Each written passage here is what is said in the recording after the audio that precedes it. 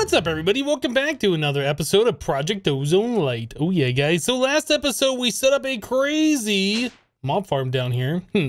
So, yeah, I've been working on this just a little bit off camera. Uh, I added in a few more things for our big old mob farm.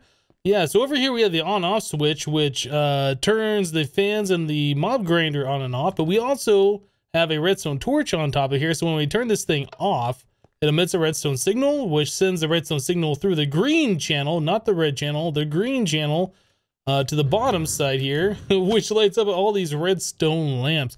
So yeah, we can turn the farm off, make it safe so nothing is, uh, so like the fans aren't going to be blowing us into the mob grinder, and then it lights it all up. So the only thing we really have to worry about under here now is just slimes and those scary, scary bats. so yeah, the whole thing gets lit up now, which is awesome. So yeah, very, very cool. And then I can turn this thing back on and the bats and the slimes all go to the center and get ground up. So I also added in the absorption hopper here. So we are collecting all the XP that does pull it through the blocks that gets put in through this uh, conduit into an experience obelisk. So we made one of those. I stored all the levels that we've been uh, collecting on ourselves into here. And then, yeah, it's gained up to 191 levels so far. It's crazy. Uh, we were also collecting a little bit of liquid XP before, I think from our mob farm that we had up here before, which I have removed since we are no longer going to be needing that. Uh, I dumped all the liquid XP that we had in there uh, down into that same thing. So that's pretty much all of our XP totaled up together. Uh, so in here, we can kind of see how fast that mob farm is collecting stuff. Uh, I've updated all the filters in our mob, I guess, yeah, our mob loot collection system. So like all of the different armor and stuff that we're getting gets deleted. We don't have to worry about that anymore. Uh, all of that goes into here. I did upgrade this thing that extracts out of our diamond chest buffer into our uh, storage drawers over here. Upgraded this thing to have the full 15 speed upgrades for the item conduit. So yeah, everything that comes in here gets removed quite quickly. Now we have gotten 23 feathers, so we are kind of having a chicken farm almost. Uh, that's from chicken jockeys that are spawning down below, I do believe. So yeah, all the stuff that we're getting is being put into its own drawer. Each of these drawers has a void upgrade. If we get too much of the stuff, it gets deleted out. The only thing we haven't put a void upgrade on is this one right here, this compacting drawer. Uh, this is on the back. It's extracting, I think, the rare loot bags or whatever the purple ones are over into this one. It gets compacted into the big boys. And this one has a void upgrade on there. Yep. Anyway, so we got a lot of stuff happening here. All the loot is being taken care of. It doesn't look very pretty, but everything is being sorted appropriately the way it needs to be. So that is very, very good. okay, so today, what I want to do is I would like to hook up our applied energistics system so it starts reading all the different inventories of stuff that we have around, like all of the mob loot that we have over here. Yeah, this is all separate. Like if we want string, we have to come over here and look at the string and collect the string and get it out of there. I want our applied energistics to be able to read that so we can just see all of our different inventories over here and be like, all right, I need some string now. Well, we have more than 24. But yeah, according to the system, we only have 24 because it can't see those storage drawers over there. So let's get that fixed. So in order to do that, we are going to need to get our storage bus. One of these guys. Yeah, so that's two pistons, one sticky, and then a ME interface makes one of those. We need to put one of those guys on our storage drawer controller right here. Yep, so that way it'll be able to read. I almost wonder if I should bring that closer or do something different. Hmm. We're going to end up running the cables in here and then straight down. I just don't know if that's the best spot for it. I don't know. Maybe it'd be better just to run the cable all the way over here and have it attached to something that's on the storage drawers instead of dropping down in the middle of the room. I kind of felt like this was going to be a good idea, but the more I think about it, the more I just think it's kind of silly that we did it that way. I don't know. That'll be one of those things we'll have to figure out. But first things first, we have to make the interface. We have to make the pistons. We have to do all that. Maybe auto crafting is a thing we should look at as well. Uh, so if we want to make an interface, we don't have that. we don't have any auto craft stuff. Interface uh, requires us to have the formation core and the annihilation core, some iron and some glass. So it's all really inexpensive stuff. But we do have to have these things. Unfortunately, we don't have any more of the logic processors, so we're going to have to make uh, a bunch of those in preparation so I don't have to keep making these every two seconds. Uh, how much gold do we have? 103. We could probably make 16 processors, grab some of that silly silicon as well, grab some of that stuff, and then we're going to need some redstone to put it all together again. Cool. I think we, no, it's this one right here. We put those up here, and we'll just let those process. So I'll go ahead and make out those processors, start getting the parts ready so we can make our storage bus and start the process of getting everything connected. Alright guys, so I was kind of looking at our storage situation here, what I wanted to do. So I did clean some things up. We got rid of the storage controller that's been sitting like right here for a long time. Got rid of all of the trim that we had underneath and I moved everything around to the back. So this is a lot neater system and probably something we should have done a little bit e uh, sooner. So yeah, we have our mob loot coming into our ender chest here. And then we're extracting out of that with our 15 speed upgrade item conduit. Uh, we have that going into three different places. So over here, we set this to priority 10 on the trash can that has the filter, trying to throw away all the garbage armor and swords and things like that that we don't want. All of that stuff gets immediately deleted. Uh, we have another one going here that's on a priority 5 into our controller slave, which is trying to go into all of our storage drawers. So if we have a spot for them, they all go into the drawers. If we have no spot for them, they get put over into this chest here. So yeah, our feathers are going to go over here and other things. Like if we're down below and we drop something on the ground that gets picked up, that'll end up in this chest. It won't just get deleted or whatever. So I think that is a nice safety measure. Uh, now, one thing, though, the server just reset. And when I logged back in, this chest had probably 20 different items that should have gone into the storage drawers. But they're in the chest. I guess, like, the conduit loaded and the chest loaded before the storage drawers loaded, and that was the only valid place for that stuff to go. I don't know. I might end up having to put another uh, conduit here going from underneath this chest, trying to go back into the storage drawer just to kind of fix things like that. I don't know how often that's going to happen or if it's going to be a major problem, but it is just something to note. So we do have this cable running right off the controller, right through the wall here, all the way over to a storage bus that is now on the drawer controller. That's where this guy is. Uh, another thing to note, when I was trying to hook all the stuff back up over here, I had everything set up, but everything was going into this chest. I was like, why is it going into this chest? Hey, diamond armor. That's unusual.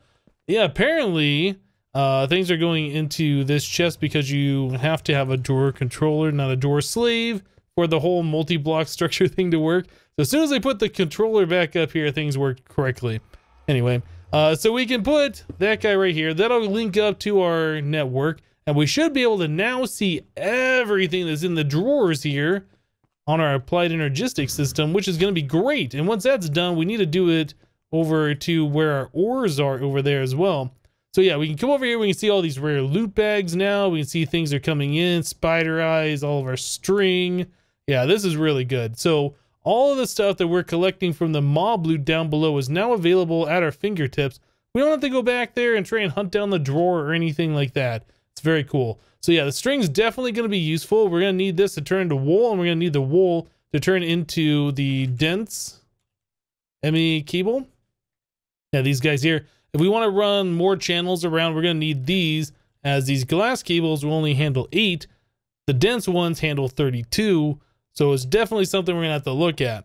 Okay, so yeah, next step is, like I said, we need to get something over here attached to these drawers. So probably what we'll do, um, maybe on the back, we run the cable up to the back of our drawer controller here and just attach it right to that. Hmm, I might end up rearranging this thing again, trying to make it easier just to run the cable as a straight shot.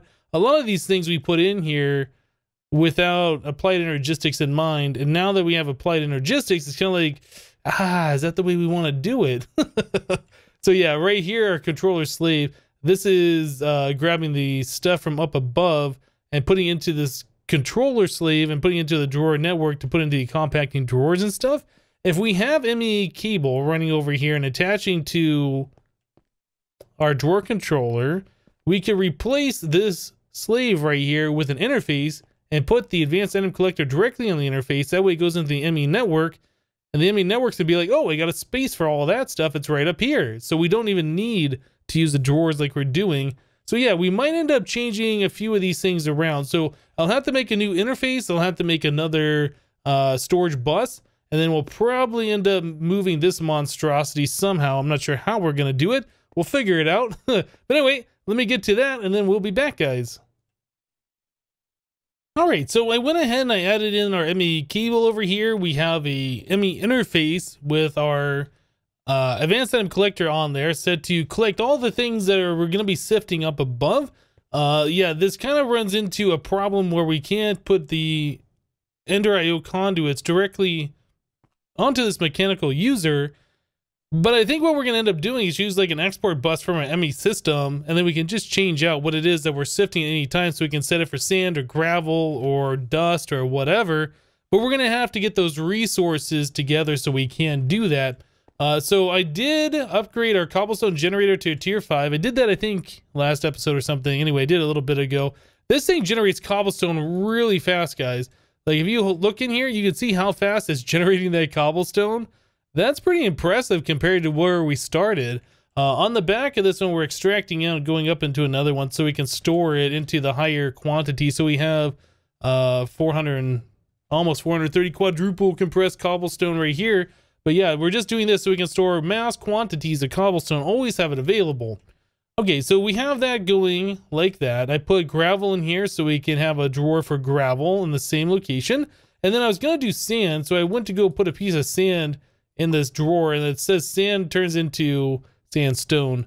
That's not what we want. So I just went and made myself a piece of compressed sand, which I should be able to click right here. And then I'll change it to, from sand to compressed sand to double compressed sand. That's what we want in here. So we can store, store large quantities of sand. But it is kind of cool though with these compacting drawers. If you do have sandstone for some reason, you can convert it to sand directly. So that's a pretty awesome thing. Uh, we do want to lock these drawers though. We don't want to take out the last item and then to fill up with something from our mob farm down below or who knows whatever. So we want to make sure that those are all filled in. Uh, that is connected to our drawers up here through this one oak trim. We have that down here so we have an easy at a glance view of what we have going on. This is our sifting room, so it kind of makes sense that we have our sifting stuff here. And I think we will end up having some kind of processing so we can turn that cobblestone into gravel, the gravel into sand, and sand into dust, and have that storage in this location. I think that's what this room is going to be used for eventually. So if we come back over to Applied Energistics System now, we should be able to see all of our different ores that we've collected, all these different pieces. It kind of sucks seeing all these things in here. We should go through and process everything turn those into the ores into the, I'm sorry, turn the ore chunks into the ingots and the ingots into the blocks and have storage that way, we'll probably end up doing that. We'll also want to have some kind of an ore processing plant in here as well as the gravel and sand and dust. So all these things that we work on in the future. But yeah, getting everything connected like this is really, really good. Uh, other things we could do, uh, we could take this cable that we have over here and we could start putting uh, what are those called? The the crafting tables or whatever. Yeah, so we could see what's in in our ME system at any time. Uh, there's other things that we can do as well, like the wireless stuff, so we have access to our our uh, items anywhere we are. Uh, does this have the wireless crafting table? Yeah, I don't see a wireless crafting table. There's a wireless terminal from Applied Energistics, but this is just a terminal. It's not a crafting terminal. Oh, actually, it's right here. Did I miss that before? If I did... I missed that. We do have the wireless crafting terminal in here. This is what we're looking for. Haha! So this, we should be able to access all of our stuff at any time just by right-clicking on it. Now, this system is costing power. We've already seen that the controller itself costs a lot. It's probably way bigger than what we need. In fact, we could probably shave off a whole lot of this and save a bunch of power, but we're not going to do that. We should make ourselves a, a networking tool or network tool, whatever it's called. Yeah, network tool. We should make one of these things just to kind of get an idea of how much power our system is using right now. Network diagnostic. Oh yeah, so you just right click anywhere on the system and it'll tell you how much power stored, what you're using, things like that. So currently we're using 850 RF, almost 860 RF per tick for everything that we have connected. Our controllers, I believe, is the biggest power drain here, 408. Uh, let's see, is any of these else? I'm not sure where all the power is going. If we're using 858 RF per tick and the ME controllers are using 408, where's the rest of that power coming from? This uses 2 RF per tick. The drive uses 11. And the storage buses use 4. I don't know where the rest of that power, where is that coming from? That seems a little odd. I wonder if there's some kind of like power I, I want to say like a debuff where it's like using twice the amount of power is what it should be using. Mm, not really sure. Anyway, we're able to get we're able to get done what we need to get done, so that's great. Anyway, uh, the networking tool will come in handy in case we have some kind of power issues later. We can you know use that to see what's going on with the system. Uh, so let's see, what else do we need to get hooked up? We have our mob stuff hooked up. We have our ores and stuff hooked up.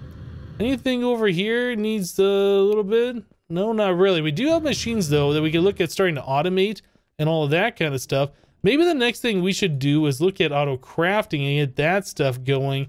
There's a lot of different things that we can make in applied energistics. Automatically, it'll make our life easier, like more applied energistics components for one. Uh, things so far like pistons, I've had to repeatedly make a lot of that stuff our processors, all those. Yeah, that's going to require some infrastructure. And of course, like the dense cables, so we can run, or I guess we can replace these things with the dense ones and run more channels around. Okay, well, that's the next thing we're going to work on. So uh, first thing that we're going to need to do is make a molecular assembler. If I can spell it correctly, we need the molecular assembler. This does the applied energistics crafting. You place an interface next to this that has a pattern on it, and the interface pushes the items into the assembler. The assembler does a craft and pushes it back into the interface, and that's how the auto crafting is done. So we need at least one of these, and then we're to need at least one interface. And I can tell we're going to need more of these cores since those are used for the interfaces as well. Hmm.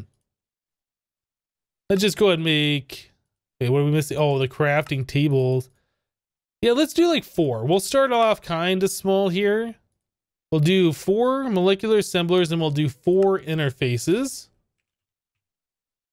This will just get our basic uh, auto crafting going here. Of course, we're going to need more of these guys. That's why I made a lot of these logic processors earlier because we are going to need a lot of that stuff for all the different applied energistics things that we're going to be doing here. So we're out of Fluix. Well, the Fluix dust. Uh, we can run that over here through our sag mill. Yeah, another thing we're going to have to do is figure out where the permanent location of these machines are going to be. We could start trying to automate some of these things, but it kind of sucks automating something and then having to tear it down and reset it up somewhere else. Yeah, I'm not really sure. Maybe that's what this platform over here is going to be, is like our automated machines. That could be a thing. I'll have to look into that one. Okay, well, anyway, let me go ahead and get the rest of these parts made up here. Hopefully we can sleep through, well, when it becomes nighttime, we'll sleep and get, a, get rid of the rain and make our life a little bit easier here. But anyway, give me a few moments here and we'll be back. Alright guys, so we got our basic auto crafting set up over here. We have four molecular assemblers, four ME interfaces, and we just have an ME glass cable that runs underneath the ground over here, over to this cable and up to our controller. This will be changed later on, but for right now, it just makes it so the cable's not in the way. We're not running it out all over the place. yeah. So we're able to do some basic auto crafting here. Now we're going to have to put patterns in here so the interface can know to craft something. Mm-hmm. So yeah, that's something to have to figure out. You know what? I'm just noticing right now that this doesn't appear to be lit up. Now normally when these have power, the uh, assemblers are glowing a little bit. Let's Take a look in here. Did I miss a cable? Oh, I absolutely did miss a cable. I thought I had that hooked up. Apparently, I derped. Okay, so let's go do a ME glass cable. Yeah, I thought I had that hooked up. I guess not. No, we can just do it right there. Perfect. Okay, so now everything's hooked up. Aha. All right, so yes, those are ready to go. I did make an ME pattern terminal and I made an ME interface terminal. So the pattern terminal will allow us to put in blank patterns here, set the pattern that we want, encode it. Then we got the item. The interface terminal over here will allow us to see all the different spots that we can put those patterns into. So the molecular assemblers, all of those are these right here. They are talking, these are the interfaces talking to the molecular assembler. You can see in here uh, on the other terminal, there's one that says nothing. That is because we have an interface in here that's not talking to anything. It's not attached to a machine. It only has an advanced item collector on it. On this interface, we have a button here that says show or hide on interface terminal. If we click that button, we'll no longer see that nothing in our interface terminal over here. It drives me crazy when I get large ME systems hooked up and then I have like five or six nothings. And then I gotta go around and be like, okay, so which interface is not talking to anything? Wh where is this even coming from? So if you keep on top of it right at the start, then you don't have to worry about those. But anyway, we have the four molecular assemblers shown on our network, those over there, and we are ready to go. So our first task is to craft a blank pattern. Just one of these guys. Uh, yeah, let's go ahead and craft one here. So we crafted a blank pattern. So the next task is to make a pattern for making more blank patterns because obviously every recipe that we auto craft, we're going to need one of these four, right? Uh, so Certus Quartz Crystal. Now we have a button here that says ore dictionary substitution. So we can either prevent the uh, ore dictionary substitutions this recipe accepts both pure and the regular Certus Quartz crystal. Uh, so if we only want to use pure and we have auto crafting set up to make more pure, we want to do that. But for right now, we're going to press this button and we'll do allow substitutions. So it'll use the pure Certus as long as we have it. But when we run out, it'll default over to this one. I think that's what we want to do. So there's our first recipe. So we can stick that in any one of these. Doesn't really matter. Now we can say blank pattern and tell the system, hey, I want to craft, I don't know, 20 of those things. It'll tell me what I have and what I'm missing. So it looks like we are missing quartz glass and we are missing pure Certus quartz crystal. I'm not really sure why it says that we're missing those. Maybe it can only craft until we have, uh, or we can only craft the 13 that we have. And then after that, it needs to do another recipe for the regular Certus. Not entirely sure. Well, let's tell the system if we want to make the blank pattern, we want to make 13 of those. Is that going to be okay? Looks like we, uh, it looks like everything's okay except for the quartz glass. So let's make some more quartz glass here. That's a pretty, actually, let's make a recipe for the system to make the quartz glass. So we're getting Certus quartz dust just from sifting. We're also getting nether quartz dust from sifting. I think we'll just use this recipe here. Again, we'll leave the allow or, or yeah, substitutions on. Oh, actually, we need to craft one more of these things before we can do that. All right, let's go back to this thing, back to this one, and that one. Okay, so we'll do this. So now we have a pattern for the quartz glass. So that's now a thing that we can do. I believe we'll only be able to craft 12 blank patterns now. So if we tell it to craft 12 of those, is it happy? Mm-hmm. So it needs eight glass and the Certus quartz dust in order to make this quartz glass, and then everything else looks like we have in the system but it says we have no crafting CPUs. Aha! So this is another part of applied energistics auto crafting.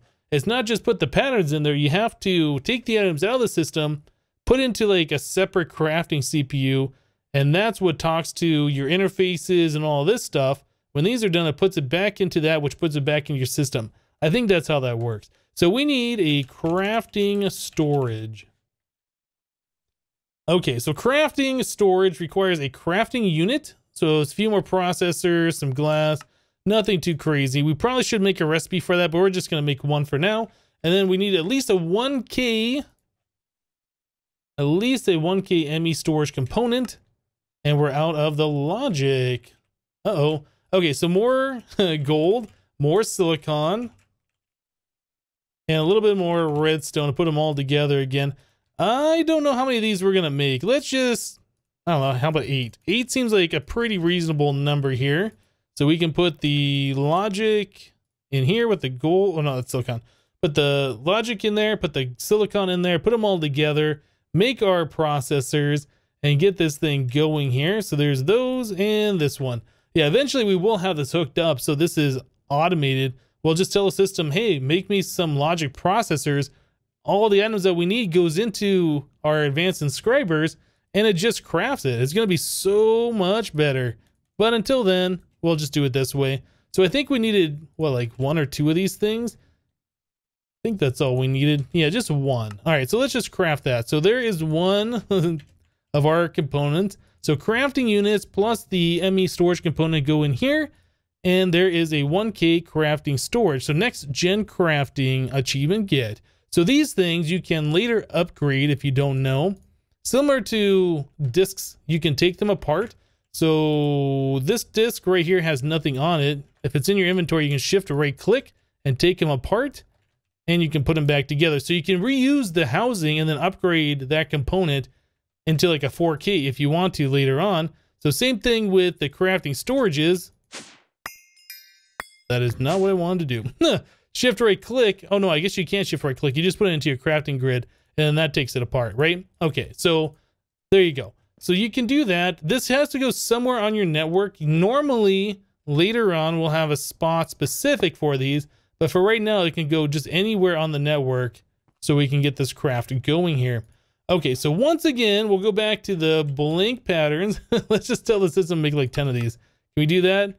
All right, we can do, uh, we should be able to do eight. Blank patterns, can we make eight of those? There we go. Let's start the craft. Oh boy, there it is. Okay, auto crafting done. Yeah, there's a little bit of infrastructure that you got to do right at the start to get going with the Applied Energistics auto crafting. But once you get this stuff done, like you're only to upgrade these a few more times. And then once you're there, like you don't have to worry about it again. Uh, but yeah, anyway, we were able to get that done. We have blank patterns to make more patterns, to make more stuff is going to be so good. So I got to figure out why when I tell the system to make blank patterns, it doesn't work because it's requiring the pure Certus. I thought those were interchangeable. We do have this one set to use substitutions, but doesn't want to use that substitution.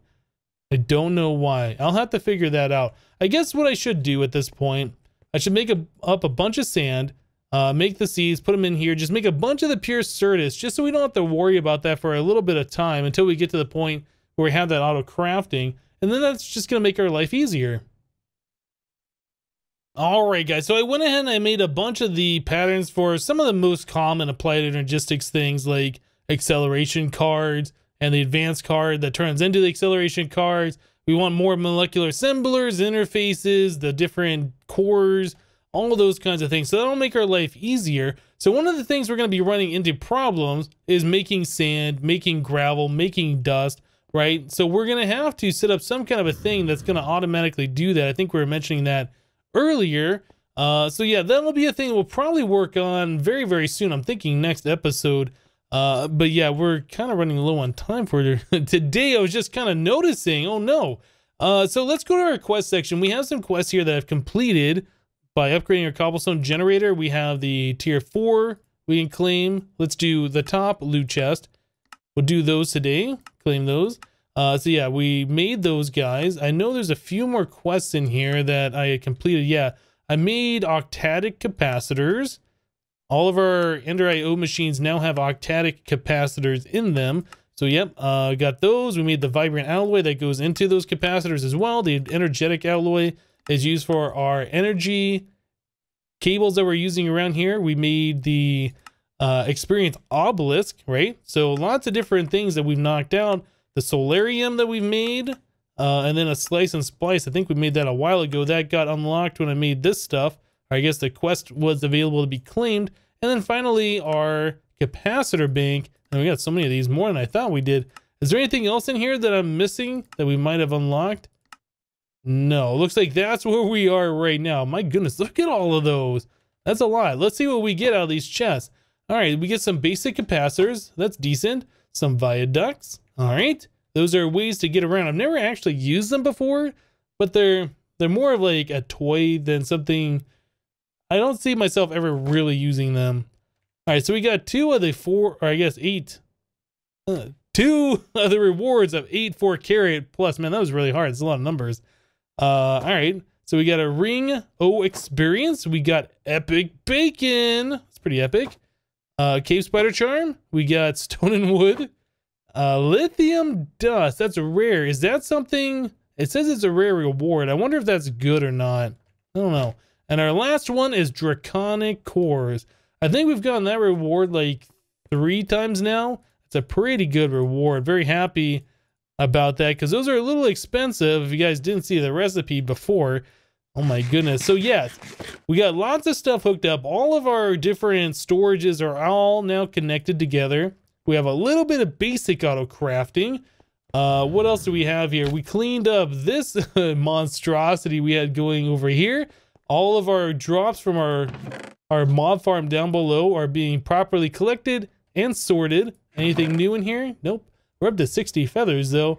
It is kind of cool though that we got the diamond armor from the mob farm. I wasn't really expecting that. What what pieces did we get? Oh, we got the boots and the chest piece, both of which we're probably never going to use, unfortunately. Oh, well. But guys, I, I think we're going to go ahead and wrap the episode up here for today. Uh, oh, you know what? One more thing. One more thing. I did make this item magnet. I think I made that last episode off camera. We needed some kind of magnet for working in the void. And I made this one from Passwords Things. It's rather inexpensive, but it does cost RF for item collection. That's the only thing about it I don't really like. There is one more magnet that we can make that doesn't, and that's the coin of suck.